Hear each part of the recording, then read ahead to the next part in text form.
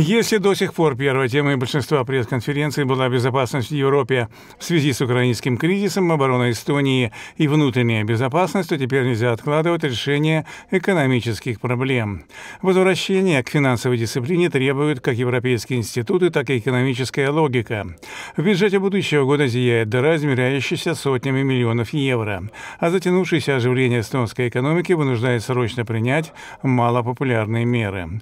Но при этом надо смотреть в будущее будущее. В 2028 году в ЕС начинается новый бюджетный долгосрочный период, и к июню следующего года Европейская комиссия представит свое видение приоритетов.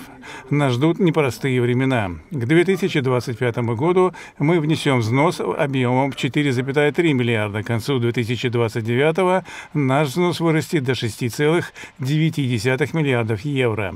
Если ранее на одно вложенное евро мы получали 3,9 дотации, то уже теперь лишь 2,44 евро.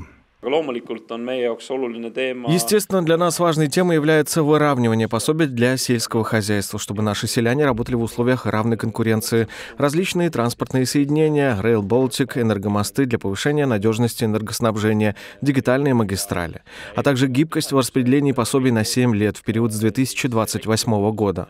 Мы должны быть готовыми противостоять кризисам, для этого надо также уменьшить бюрократию. С каждым годом наша экономика растет, и мы будем получать меньше пособий. Мы ожидаем ожидаем, что сокращение их не будет очень резким и сохранится подушка безопасности для развития экономики.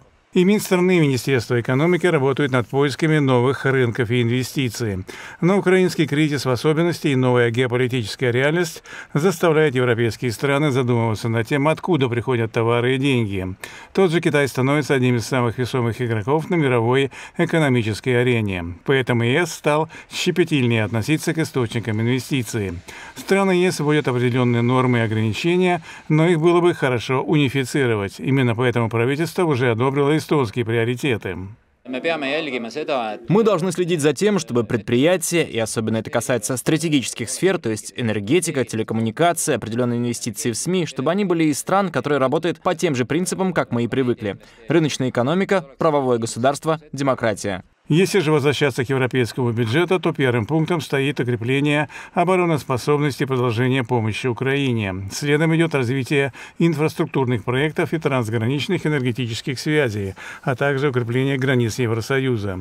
С учетом общего уменьшения выделяемых субсидий, особенно важным становится справедливое распределение средств из фонда сплочения с учетом специфических региональных потребностей. Такая политика должна стать более гибкой, поддерживать климатические цели биоразнообразия, также обеспечение снабжения едой и развитие регионов.